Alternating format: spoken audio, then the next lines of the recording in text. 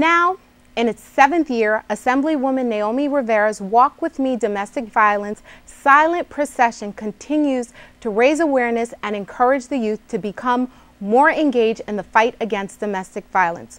What makes this event unique is that it takes place on campuses throughout New York at the same time on the same day. And we have the pleasure of having Assemblywoman Rivera with us now to talk about the Walk With Me. Welcome to the set, Assemblywoman. Thank you, Sylvia. Uh, first, let me thank you and BronxNet for allowing me to participate in this important discussion and always being uh, welcoming uh, to the issue. I know you have uh, you you like to herald um, causes that affect children and especially the youth um, in New York City. Can you tell me why did you decide to have a domestic violence walk that targets the youth versus you know everyone in general?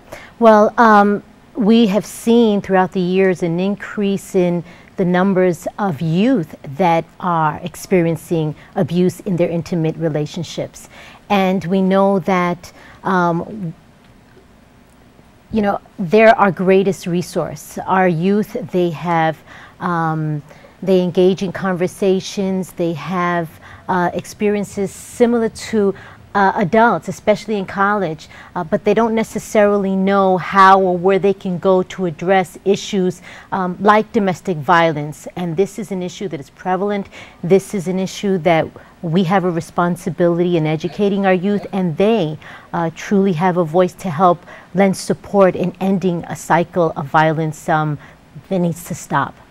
Um, can you tell me, let's take a step back. Seven years ago, you started this walk. Can you tell me what was the, the, the, the thing that pushed you to create this walk and have this walk around New York City?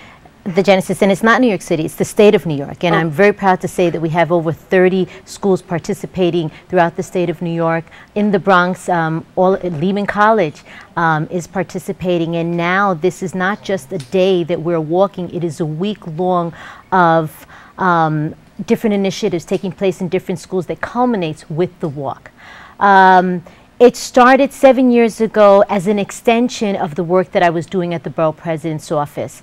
I uh, was involved with Diva Spa, cre the creation of Diva Spa, Diva Talk, and um, I knew that I wanted to walk uh, to follow um, in that effort. And so when I became a legislator, it was a great opportunity to bring this issue um, and these efforts statewide. And so Seven years ago, I went to our local campuses. I started off at Mercy College. That's where um, we began the walk. And I said, you know, we need to engage our youth in this effort. Looking at the numbers, I mean, this year alone, 11% of teenagers have reported that they have been slapped, hit, um, victims of abuse in their intimate relationships. 44 uh, percent of homicides uh, to women happen because of uh, domestic violence. Um, it is an issue that is attacking women.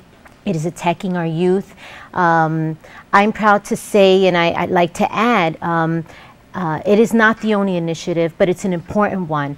Uh, one of the laws that we passed in Albany, the access, the expansion of um, family court access. As a result of this piece of legislation, critical piece of legislation that was passed, 22% of teenagers have filed for orders of protection. In the past, only if you were married, had a child, lived with someone, or um, were blood related, could you file for of protection if you were being abused or felt um, uh, that you were, your life was at risk? Now we know that um, we've opened up the doors for other victims like the LGBT community and teenagers, where again, as I mentioned, there's been a growing number of reports. And I believe that number is growing not so much because we're seeing more abuse, but because, but because our youth know that they can speak out, they have a voice, and they have some place to go. We have a National Domestic Violence Awareness Month, and I know you're focusing on college campuses mm -hmm. in general. What about those teens or those people who are in high school? Can high schoolers participate in this? Thank you, thank you, because um, I, I would have been remiss to, to mention that working with Planned Parenthood, annually we have teenagers and we have to um, give, we, we make special requests to the schools, to the different high schools, to um, ask that they be excused to participate in this important walk. And yes, we have high schools that do participate. In fact, um, with the exception of last year, in the past, we've had high schools that have performed a skit to kick before we kick off the walk.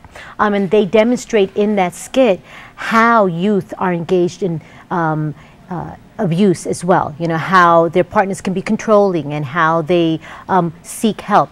It is a dialogue that is engaging all of our youngsters and teenagers in high school as well as our teenagers in college. So, as far as people finding out more information on this event or any um, events that are in conjunction with this mm -hmm. event, where can they go to find out more information? Well, they should call my office. Uh, that number is 718 409 0109 um, and we will share a host of events that we um, make sure that uh, our community is um, attached to so that they can help us engage in different issues and different efforts to do outreach necessary to lend support.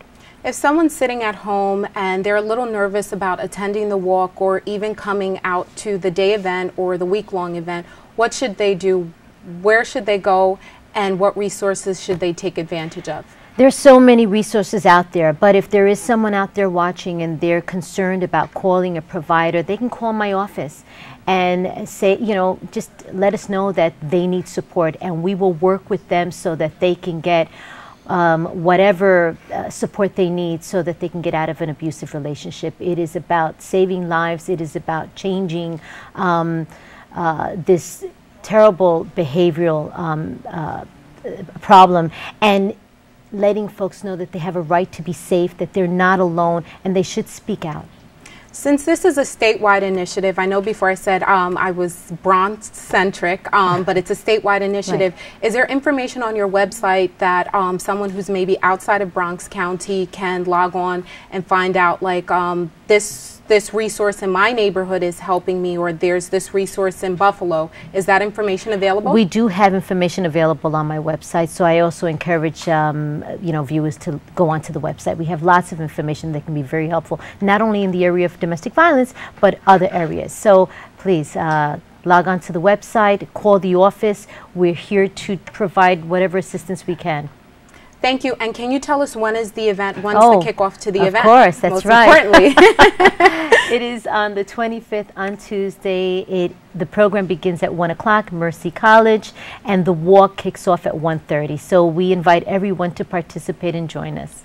And the color for domestic domestic violence awareness is purple. Should That's correct. should we all attend in Absolutely. purple? Absolutely. Um, and you know the marches will not all be in purple because what you will see with these students, you will see some that will intentionally try to lend a face to how vicious this abuse um, can be. So they will have theatrical makeup showing black eyes. They'll have their hands in slings. You'll see somebody with a pillow. Um, showing that you know pregnant women too are subject to abuse, and then you'll see some in suits saying that um, you know we you may not see the scars on the outside, walking with signs to say you may not see the scars on the outside, but I too am a victim of domestic violence because it is um, not it, it is it is not biased. It is across all races, religions, and um, you know socioeconomic um, uh, communities.